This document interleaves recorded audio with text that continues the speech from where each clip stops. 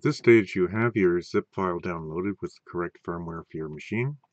We're now going to open that file, find what we're looking for, get it onto an SD card so we can move over to the machine and start flashing our printer at last.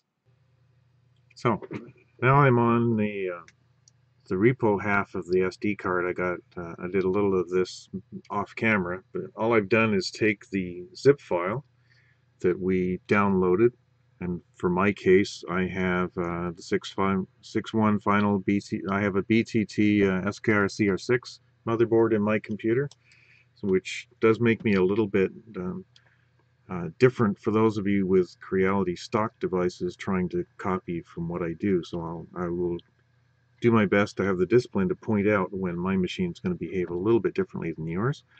Um, but here I, I do still have the stock Creality TFT fitted, so I will have to boot, uh, flash and boot the DWinSet uh, firmware to my machine, so I think I can demonstrate pretty much everything I need to for all configurations of this machine. So this has already been unzipped so that I can just browse and navigate down to where I want to go. Um, so I would start there, take your zip file and unpack it um, to uh, a folder so that you can navigate into the folder. You will find the config files. This is where uh, he's included the configuration H and the advanced.h that were used to compile the firmware that's in the zip file so that you can go back and answer your own questions if you like about um, what settings did he use, uh, which switches, which features did he turn on, which ones did he not, uh, what is he uh, established as the default values. And if you wanted your system to be any different than what you see here, you would have to recompile the firmware yourself. So this is pretty much what you've been locked into if this is uh, what you want to do is simply use the firmware that's already compiled. There is a, um, a link back to the Discord. There's a link back to where the firmware is found. There's a README file that I'm going to skip, but that's not what you're supposed to do. You're supposed to read it. and then uh, when we go into the firmware folder, uh, it's been divided down into two more, right? The description text can just confirms that this is the file you actually downloaded in case you couldn't decode what the file name meant, right? I have a CR6 SE in my case, not the Max. The Max would have been a different file. Um, with the Bigtree uh, SKR CR6 motherboard and stock Creality screen. So I know I'm into the right thing for me, right? Which is again, it's it's in the file name, but not everyone um, understands that part or can make sense of it.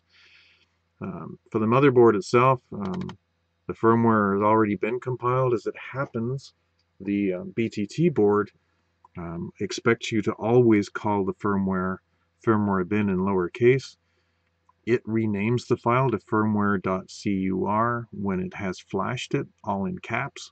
So if you look back at your card after trying to flash, you can tell from the file name whether it did or did not successfully flash.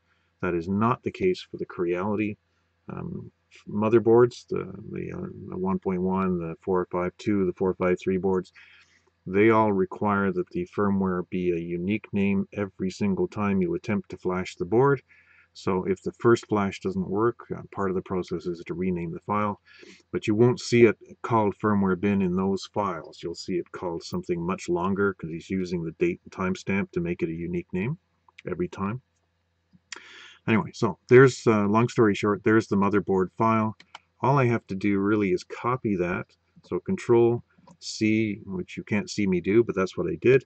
And I navigate down to the flash drive we created before in Drive D, and I uh, I paste. I'll let you see me do that. Right, paste. I could now take this card, put it in the printer, cycle power, and it would flash the motherboard with that firmware.bin file.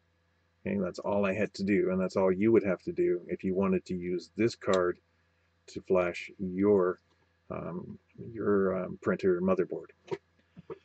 Now I can go back to where I just came from, right, where it still says firmware. Excuse me, and I go into the touchscreen firmware folder.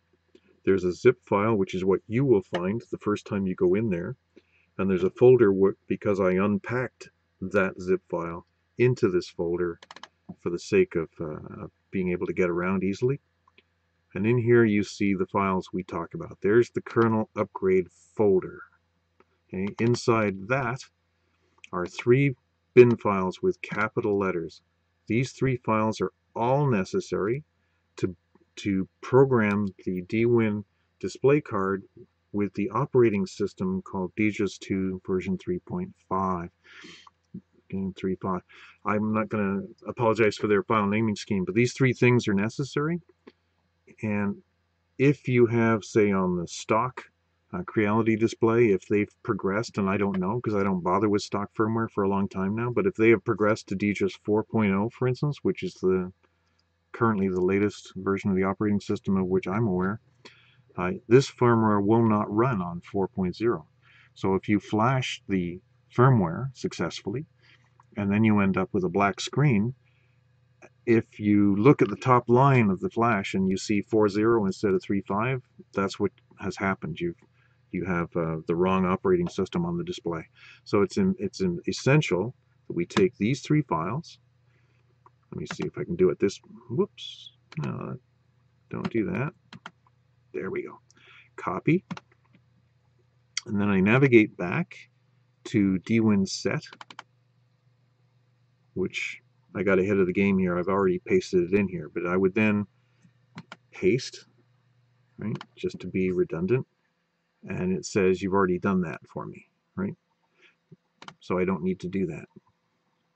But those three files need to be in here in addition to what else is here already. These files are all compiled by the clever fellows who learned how to use the DGUS tool to customize the interface for the um, community firmware. So this is your beautiful user interface. It is not the Creality stock interface, which I don't mean to impugn. I'm just saying it's not the CR6 uh, community firmware interface. This is. Learning how to modify that is a real uphill battle. It's a very steep learning curve, a very complicated tool, and life is changing right now, and it'll be the wrong version of the tool anyway. So let's not go there. Let's just say dwin set is what I need here. It has to have those three files in it before I do this, which is copy. And then I go back to D, which is the primary partition on the SD card, and I right click and I paste. This card can now be removed from the machine and used for both. It can be used to flash the display and it can be used to flash the motherboard. Neither file confuses the other so it doesn't matter if they're both on here at the same time. If this is how it works for you, great. If you'd rather do them one at a time, that's okay too. I'm just saying it will work this way now. Okay, so the next step will be to pull this card, stick it in the display, and flash the system.